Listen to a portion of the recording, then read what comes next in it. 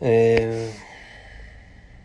Pamiętacie live'a tydzień temu, jak pisaliście mi, żebym biegł z psem do weterynarza, bo mój piesek, którego dopiero co tak naprawdę kupiłem, yy, wymiotował, nie wiedziałem co mu jest. Pisaliście na streamie, żeby kończyć i biec do weterynarza. Tak zrobiłem. Psa owinąłem w koc, wysiadam z Ubera. Co się dzieje? Poślizgnąłem się, poczułem mega mocny ból w kostce i po prostu ją skręciłem, nie? Skręciłem kostkę, yy, próbowałem coś tam jeszcze z fizjoterapeutą zadziałać. Na streamach nie mówiłem o kontuzji specjalnie, żeby nikt nie wiedział, żeby przeciwnik nie wykorzystał tego, że mam kontuzję, bo cały czas miałem nadzieję, że fizjoterapeuta coś z tym zrobi i, i że będzie ok po prostu, a jest chuj, jest bardzo słabo. No i wspólnie z trenerem mm, Arturem próbowaliśmy yy, przeczekać.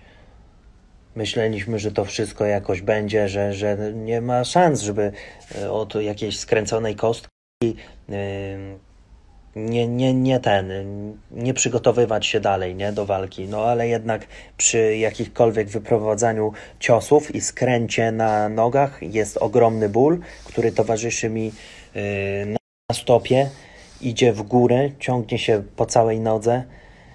Jest to mega nieprzyjemne uczucie, jakby coś tam luzem tak latało. Yy, I przede mną będzie na pewno bieganie teraz po lekarzach i ogarnianie tego.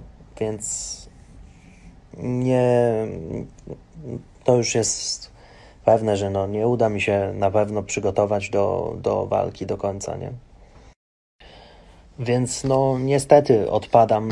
Walkę trzeba, no mam nadzieję, że przełożyć na pewno, bo przygotowywałem się na maksa, dawałem z siebie wszystko i chciałbym bardzo przełożyć tą walkę yy, z moim przeciwnikiem na jakąś inną edycję gali, 10, 11, to wydaje mi się, że uda mi się szybko z tego wyjść, ale do gali tej już nie zdążę tego naprawić, a chcę być w pełny sił bijąc się. Chcę być w pełny sił, żeby te moje ciosy i to wszystko wyglądało fajnie.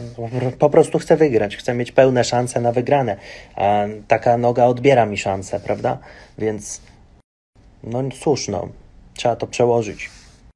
Mam nadzieję, że uda mi się z tego szybko wyjść i wrócić do treningów, bo bardzo to po, polubiłem to jeszcze bardziej niż przedtem. Przykładałem się w 100% i no mam zakaz trenowania. Ogólnie mam zakaz trenowania.